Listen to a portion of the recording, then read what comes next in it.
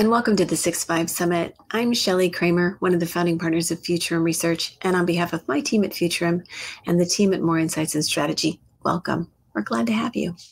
In this spotlight session, I had the pleasure of sitting down with David Konetski, a Dell Fellow and Vice President in the Client Solutions Office of the CTO for Dell Technologies. Our conversation revolved around security and the realities of the current IT infrastructure that has expanded the number of potential attack surfaces.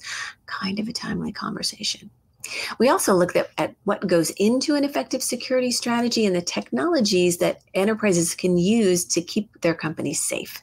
This timely conversation is one that you will not only enjoy, but I can promise you'll benefit tremendously from. Let's go have a listen.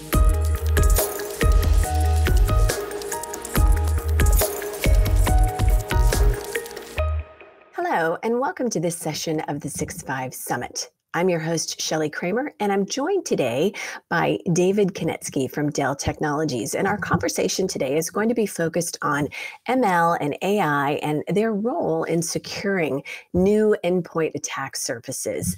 So, as a as a prelude, you know, when you think about Dell Technologies and security, you might think about desktop or laptop. You know, what kind of hardware um, someone might be using. And but we're here today to talk about the security journey as a whole and and sort of the security posture that protects endpoint devices throughout all aspects of the hardware journey. So, with that, David, it's great to have you today. Welcome. Great to be here. Absolutely. So tell me a little bit about your role at Dell Technologies. Absolutely. Um, hello, everyone. Uh, my name is David Konetski. I'm a fellow in the Client Solutions Group at Dell Technologies. Uh, so we drive technology strategy, we drive technology incubations, uh, and we're the ones that provide differentiation into the uh, into the product set. Uh, and so today, you know, like Shelly said, we love to talk about security, and uh, it, AI and how that applies to security. And it's funny you mentioned that um, you know, Dell Technologies is is not necessarily considered a security company, and I like to think that we are not only a security company. Absolutely. Uh, Dell Technologies is all about providing solutions to our customers to empower them to reach their missions and also advance human progress. Absolutely. providing those solutions, uh, security is an inherent piece of that solution. Matter of fact, we call it intrinsic security because, uh, as you, know, you, all know, in, the word intrinsic means essential and naturally belonging to. Well, and I like to think of security, and I, and I think that everyone should think about security as, as foundational. You know, every product, every process, everything needs to be built on a foundation with a security first mindset. And I and and that's you know I think that's similar to the th- concept of intrinsic as well. Absolutely, absolutely, and, and we really take that approach.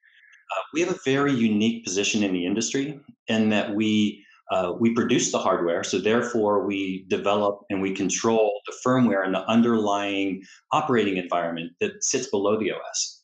And we can start there and create a secure foundation. And when I talked about us being a security company, you know, I, I look back historically, and we have a long history of pioneering in security. We were the we were the first PC OEM to put TPMs or the uh, trusted platform module on motherboards. We were the first, and we are still the only company that ship a dedicated security processor to secure identities. Um, and as we look forward to what we're doing now, I mean, we're advancing all those capabilities. We're taking our, our BIOS and firmware protections and now producing indicators of attack below the OS. We're doing off host verification to make sure that the platform is in uh, perfect shape and attested before we boot. So as you can see, you know, we're, we're very focused on providing that secure foundation. But then, of course, that's, I'm sorry, go ahead, go ahead, Shelly. No, you mentioned above and below the operating system. So I want to focus on that for just a minute. Can you explain more for us, you know, what that means and how that impacts a customer's security posture overall? Yeah, absolutely. Uh, so, you know, as I mentioned, we we provide that secure foundation, but that's of course not up, not all. Now, the environment, the operating environment, then includes the op- operating system and the applications, and of course, um, everybody's moving to cloud native applications as well.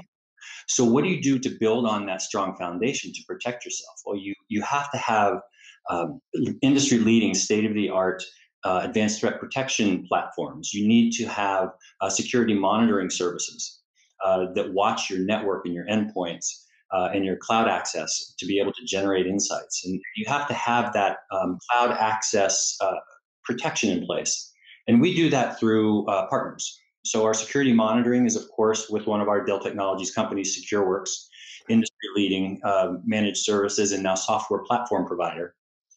And then we partner with folks like Netskope for, for uh, cloud access, uh, security brokering, and Carbon Black for advanced threat protection systems.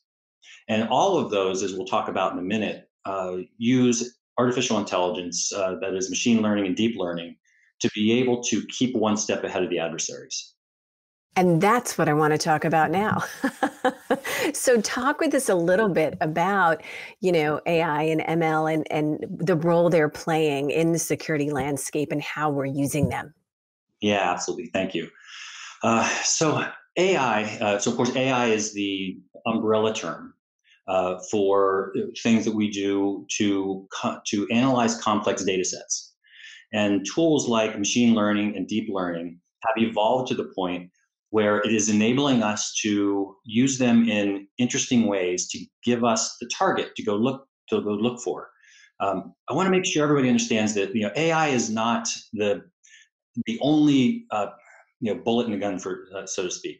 It's a tool. It's a tool that uh, makes it possible to stay ahead of the adversaries, and I'll describe that in just a moment. But as as you analyze complex data sets, uh, you're able to then generate patterns of uh, good behavior so that you can then look for anomalies. You can analyze um, that behavior and then look for indicators of potentially um, malicious attack. And, and then we, so we can we can take all of the uh, events that we have and, and you know to quote SecureWorks, I mean they have billions and billions of events, uh, upwards of seven billion events that come in daily and you have to filter that down into meaningful uh, events or meaningful insights right. that you can then put into the chain. You, you need to have your researchers that develop algorithms and, and, and uh, um, take advantage of artificial intelligence.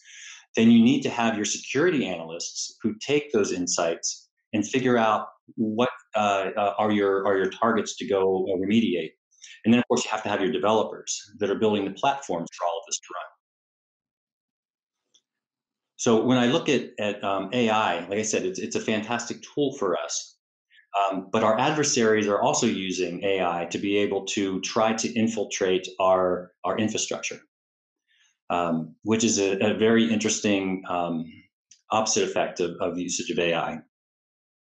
Yeah, absolutely. And I'm going to hold off on talking about that. I think we're going to wrap up our conversation with sort of a look at that and what's ahead. So, one of the things that you mentioned, you know, you mentioned, um, you know, being having access to real time insights, and it, it, we've partnered with Dell in the last year and done some some research focused on, you know, security and the hardware journey and that sort of thing. And and one of the things, and I don't have the exact data points in my mind, um, but you know, one of the things that we looked at is, you know, uh, when we talk to when we talk to IT leaders charged with security operations, you know, they absolutely knew you know how many attacks they had and they knew what to expect and everything else and and the people who had their finger on the pulse of what was actually happening on a daily basis and what they expected to happen moving forward were people who were using dashboards that afforded them real-time insights into security operations of what was going on. And conversely you know we spoke with folks in IT who weren't using that kind of technology or any technology to be able to allow them access into the system, um, you know, they had a very sort of Pollyanna-ish attitude in that, oh, you know, we think we're good and we haven't had we haven't had any threats or anything like that. So it really is very interesting. But we are big believers here at Futurum that you know you don't know what you can't see, and to operate without the benefit of actual insight into what's happening on a minute by minute, hour by hour basis as it relates to your systems is not really very smart. That's right. That's right. and and more importantly, really dangerous. So that's right. And and so I talked about um, our ability to generate indicators of attack below the OS.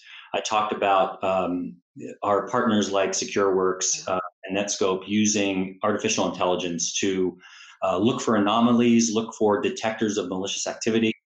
Um, those are all just indicators, though. Yeah. And your point, uh, those indicators have to be surfaced up into a, a security analytics uh, platform so that the uh, security practitioners can analyze those events that are determined to be the most valuable events uh, and, and then take uh, action, whether it's just um, determining that it's not malicious behavior, but if it is, then, then unpacking it, doing forensics, figuring out where the adversary came in, how they got in, how long they were there. Um, and then, as I, as I usually put it, is then cleaning up the mess, right? Um, removing them from the environment, um, putting uh, solutions or putting protections in place uh, so that it doesn't happen again should there have been a vulnerability uh, that was detected. Uh, and then, of course, putting your monitoring systems in place uh, so that you can make sure that you don't have that kind of breach again. Um, but to your point, that uh, security analytics platform has to be robust and it has to be clear and it has to give you, it has to point you to the events and the indicators that are the most important for you to be addressing. So a great example is a, a, uh, a security indicator that has zero history of anyone using it in the past is probably a little less important, uh, urgent, I should say, than one that is known to be a vulnerability that is being uh, exploited at the current time. Right. So having that insight is very important to understand how you attack the problem. Yeah, and you know the the thing too about the benefits of machine learning and AI um, that I don't think we touched on is you know the ability for continuous learning you know as as the systems look at the data sees these ma- this massive amount of data coming in you know the system automatically gets smarter and and it, so you want to talk about that a little bit? I don't want to you know there's so much about this that i don't know the specifics of but i know that's a huge benefit of ai and ml oh absolutely. And and so I, I talked about um, at the various high, very highest level that uh, using AI to do analysis of complex data sets to be able to generate known patterns of good behavior, um, patterns of malicious behavior, be able to uh, uh, form detectors as, as SecureWorks um, works. They have a set of detectors that that pull out uh, insights. Um, but the thing is, the the um, the trap that many fall into is to think that once you have a, uh, a, a an algorithm in place and you're analyzing a data set, that you're now in steady state. You know, the reality is that that data set continues to evolve. Right. Uh, the reality is that uh, um, you know adversaries are continuing to watch the environment to figure out how they can either um, stay you know metaphorically below the radar or how they can mimic the behavior of, of uh, authorized user. So your algorithms or your analysis has to continue to evolve. And so that's the whole circle of um, generating insights, using those insights, doing forensics, and then feeding that information back into the model. So the model is never done. Um, and, and we also have to get comfortable with the fact that the model is never done. You know, so uh, like like any good engineer, like any good data scientist, they always want to try to find that that perfect um, algorithm or that perfect, you know, get the perfect data set so that they can come up with the right answer. And uh, you know, I, I'm a firm believer that in in many forms of engineering and especially security, um, we're going to have a great answer. You know, we're never have the perfect answer. well, it, I don't know that it's perfect. Maybe it's perfect. What I'm thinking about is finished. Mm. right and i think that you know we talk about this a lot as it relates to digital transformation and sometimes people are surprised when i say your digital transformation journey is never done you know i mean it, it is a journey and technology has evolved at an incredibly rapid pace. By the way, it will continue to do so. And so, you know, what our mission today, whether you're an engineer, whether you're an analyst, or whether, you know, you're a project manager, our uh, mission in, in the world today is to understand that change is a constant and evolution is a constant. And these journeys are ongoing. And, you know, and we use technology to help us do better and be smarter and do things that more rapidly than we can do ourselves and and all of that sort of thing but we're always going to be evolving and changing and testing and measuring and implementing. And for those of us who love change that's exciting.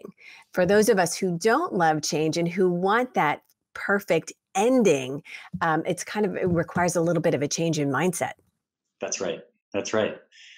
Um, and what you just said um, reminds me of something uh, also is that uh, that that perfect ending. I mean, we, we look at we look at uh, artificial intelligence in in different ways, and and some of it also is the application of uh, ML and deep learning to create um, responses. So it's one thing to to know when you have um, not that those it's a problem, but sometimes when you have, let's say it is a breach, other times you know, you just have an inefficiency in your process. Being able to apply um, AI to an automation system so that you can analyze the insights that are being generated and then generate the right response starts to free up um, IT personnel to be able to attack the more difficult problems, digital transformation problems in their environment. Um, and, and right now we're in a, an interesting state in that um, everybody's interested in automation, but they don't want to let go. So it's like, yes, give me the automation, but let me hit the button. And eventually, as you know, if we have this conversation three years from now, I'm sure we'll be having a very different conversation.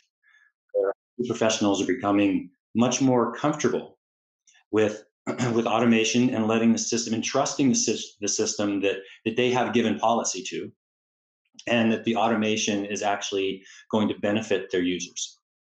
And you have to do that automation in a way that it doesn't um, uh, it doesn't stop or or limit uh, productivity that it actually encourages productivity.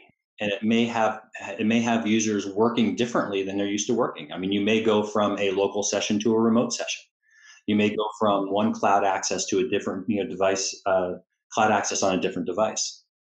But the point is that through automation and remediation we're going to be able to fix all of your problems in a transparent way and keep you productive well, and yeah, and when you can use automation to eh, to kind of get rid of, you don't get rid of them, but they're being handled in a different way. Those those mundane, those repetitive tasks that take time and attention, and and you know we're just so used to doing those things that that when you factor that out it's so exciting to see you know people i mean we do a lot of work in the automation space and it's so exciting to see people you know talk about the trepidation that they had going into their automation journey and then you know talking with them a few months later and it's just like oh my gosh and you know their eyes are opened as to the possibilities here and you know now we've been able to do this but what about if we automate this? And it really is kind of getting that toe in the water and taking a little bit of a dive and and a, a, a little bit of a leap of faith you know oh this technology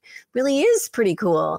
And um, but it's exciting to see people progress along that journey. And and also really exciting to see them you know being able to focus on as you said the more mission critical tasks the thing that really does the things that require humans and critical thinking and that sort of thing. So so it really is and we're at an interesting part of our journey right now especially as it relates to automation and the benefits of ai and ml eh, you know that it can bring for sure. absolutely right. And when i when i think about um, you know what we are working on for the future of compute and, and the way things are going to evolve and change. Uh, and you know we're going to have many of the mundane tasks automated, and we're going to have the delivery of workspaces being very different paradigm. Uh, that changes the whole security game. Right. Well, you know what we where we used to be focused on securing a uh, securing the platform and securing a desktop and securing the applications running on that desktop that whole paradigm is changing. And, and we see it with cloud native applications today. And that will continue to evolve. And as we become uh, more automated and flexible you know you'll see the workspaces evolve with the user. And um, you know based on their context you know their security posture the device they're on what their entitlements are and what they're allowed to do they'll be delivered a dynamic workspace that um, will move with them. Yeah. And it'll follow them through their day. Now that changes the whole security paradigm. You know, no longer can I have, uh, can I count on, um, classic desktop based advanced threat protection systems.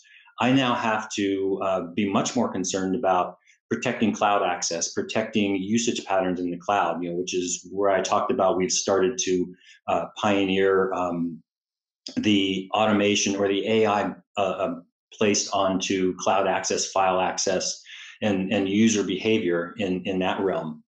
Because your, your telemetry changes, right? It comes from your workspace. It no longer comes from a, uh, a set platform. Uh, and so, again, to your point, people are going to have to evolve. They're going to have to be comfortable with change. They're going to have to be comfortable with coming up with a great answer and then iterating on that answer as we learn more. Right. Right. Well, I have confidence we'll get there. It'll just be different. right.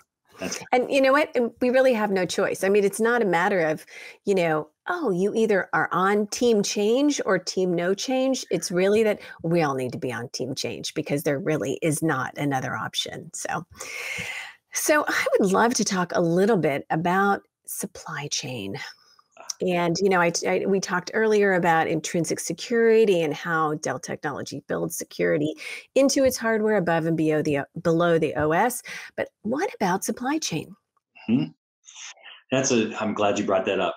So you take that metaphor again. We're building. Uh, we're building a house, or you know, we're building a, an environment based on a secure foundation, and then you know, layering our productivity productivity tools on top. But how did how did that that environment uh, get developed? How did that environment get delivered? I mean, we really need to go back. That's why supply chain security is so important. That you know the security of the of the device and the um, workspace itself is is uh, a result of everything that happened before. So at Dell, we go all the way back to, of course, you have to have a world class uh, secure development lifecycle. So as you're developing the tools and as you're developing the software and the hardware, uh, you're building in that security again intrinsically into the platform and into the software. Then once it's when it's developed, um, how is it delivered? Making sure that uh, we have uh, you know, tamper-proof containers and tamper-proof boxes. Um, and now we've even advanced that further so that we can start to do programmatic verification of pieces in the device itself. Uh, so we can make sure that what uh, landed at the customer site is what was built in the factory. We've launched that with our PowerEdge servers, and we're going to continue to advance that capability. And then as we go forward, being able to do uh, uh verification, attestation, and then of course remediation, so that cyber resilience becomes a part of the supply chain. And so as you can see, it's not one person's job, right? It's it's everyone has to think about secure supply chain. Everybody has to think about security intrinsically built into the pro, to the products.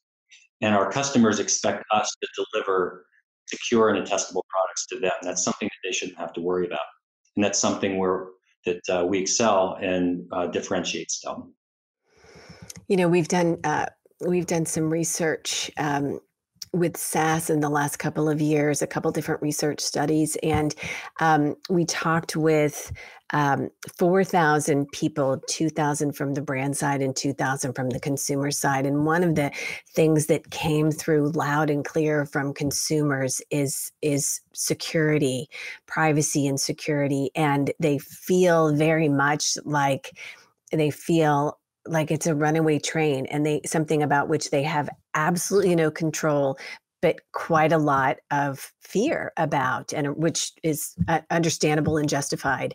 Um, but I think that from the brand side, when you approach this with a, you know, again, security is a foundational thing. And when customers understand that everything a company does is with a security first mindset, I think that goes a long way toward allaying their fears that this is, uh, you know, it really is a very big problem on the consumer side. So I think that it's an important part of, you know, what it is Dell Technologies or any company does is to, you know, really lean into all things security because it, it is something that is top of mind for most consumers. Oh, absolutely.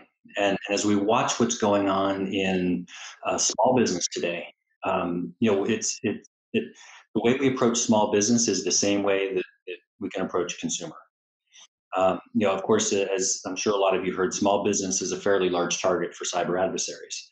Uh, they have less sophistication and usually have less um, protections in place. Right. So Dell is really focused on small business and and providing them solutions and mostly turnkey solutions so that you know we don't rely on the fact that they have security practitioners because often they don't. Right. That looks just like a consumer.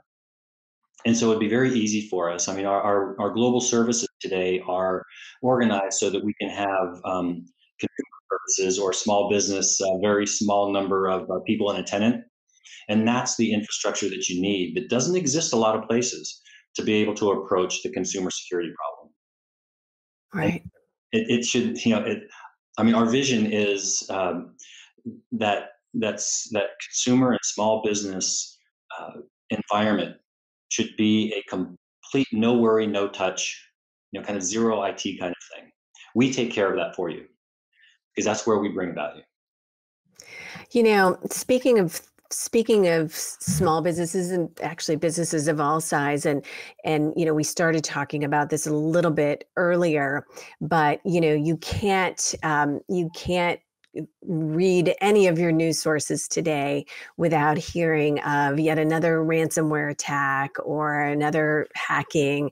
And, um, you know, we're coming off of the massive colonial pipeline attack, and we're still finding damage as it relates to the SolarWinds attack and the Microsoft Exchange. I mean, it's just like the list is so long. Mm. Um, but you know, I want to talk a little bit about you know about the cybersecurity space and and the reality that this is big business for threat actors and you know and and there's so much money to be made. And so so i'd love to look talk just a minute as we wrap up our conversation about what's happening you know what what our adversaries are doing as it relates specifically to the use of sophisticated technology like ai and ml and how do we counter that? Yeah, it's it's certainly evolved over over the last many years, and uh, we used to approach it, uh, um, security analysts used to approach it and try to uh, cluster adversarial behavior uh, or you know cyber criminal um, approaches, and that is becoming more and more ineffectual. Uh, the reason is the cyber adversaries are becoming much more uh, sophisticated, and they're changing their approach. They're changing their modus operandi on every single attack. So it's difficult to to pattern that malicious behavior uh, end to end and then reapply it to a new attack. What you have to do is break that up into, um, as I mentioned before, SecureWorks uses uh, detectors. So break that up into the components of an attack and be able to put those components together to define malicious behavior.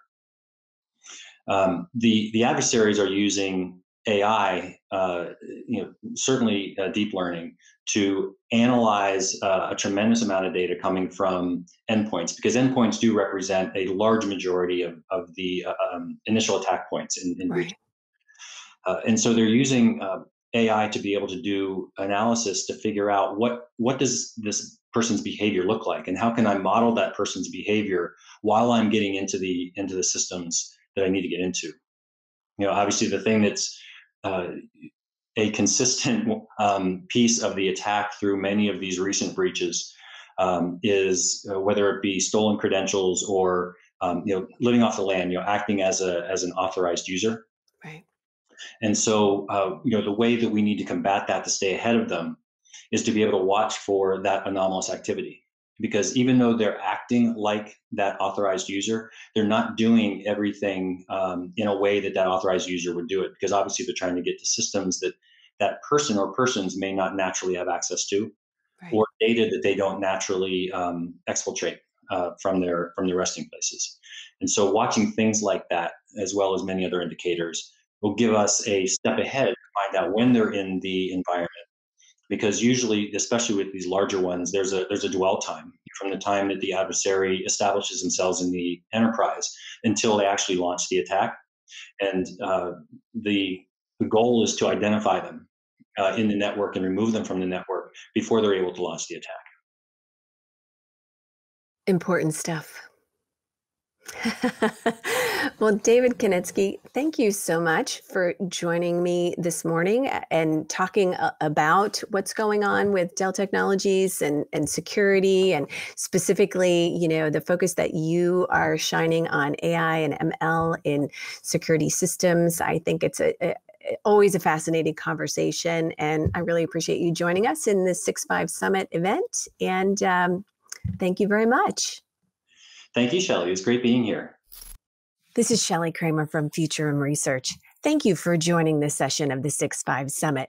The conversation with Dell Technologies' David Konetski was a fascinating one, and we've got one more session today featuring Tom Anderson, the VP of a Red Hat's Ansible automation platform. We then finish off the day with a live Q&A. This is one conversation you'll want to be sure and be a part of, so check your agenda for a link to view and participate. We'll see you there.